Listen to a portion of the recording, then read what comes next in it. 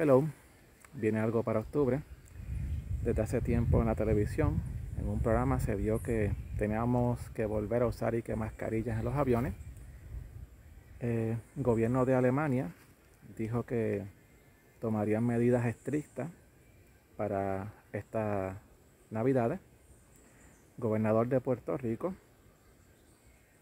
está tomando unas precauciones y que para el monovirus ya le ordenó al Departamento de Hacienda entregar fondos al Departamento de Salud.